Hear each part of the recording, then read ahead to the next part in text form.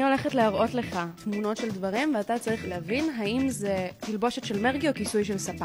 נראה לי שזה כיסוי של ספה. נכון! הדבר הבא. תלבושת של מרגי. נכון! תלבושת של מרגי או כיסוי של ספה. אני הייתי רוצה שזה יהיה תלבושת שלי, אבל זה נראה לי ספה. יפה, זה פרחים, זה וינטג'. תלבושת של מרגי או כיסוי של ספה? לא, זה כיסוי של ספה. ספה, נכון מאוד. תלבושת של מרגי או כיסוי של ספה? תלבושת. נכון מאוד. תלבושת של מרגי או כיסוי של ספה? רואים את החזה שלי. מרגי או ספה? וואי, זה הראשון שאני קצת לא בטוח. ספה? ספה!